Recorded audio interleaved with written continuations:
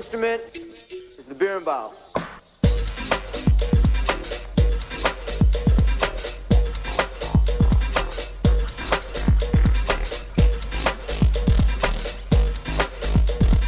This is the real music. I recorded it in Brazil.